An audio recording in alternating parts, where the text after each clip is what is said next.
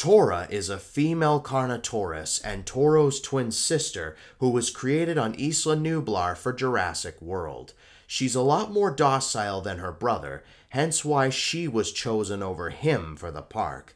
One of the reasons that Toro is so aggressive is that he's jealous over the attention Tora would receive from the staff and guests. When they were housed together, Toro would try to bring down Tora every chance he got, and the staff would often have to step in to break the two up. As a result, Toro was moved to another enclosure away from the park. After the 2015 incident, Tora was roaming freely around the island looking for food. She had just caught a Gallimimus and was enjoying her meal when she saw another Carnotaurus walking towards her. It was Toro.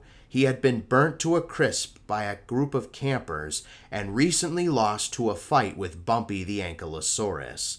Nonetheless, he behaved aggressively towards his sister, and the two Carnotaurs fought just like old times.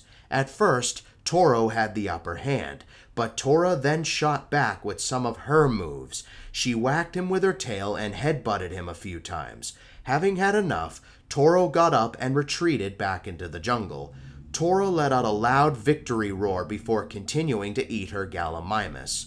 In 2018, Toro was one of the lucky dinosaurs that got off the island when Mount Sibo erupted. As of 2023, Tora now resides in the Biosyn Valley, which is now owned by the United Nations, and she lives with a whole new family of Carnotaurs. She even met a male Carnotaurus whom she ended up having offspring with. Hey guys, thank you so much for watching the video. If you enjoyed it, be sure to leave a like and subscribe for more. It would really help out a ton.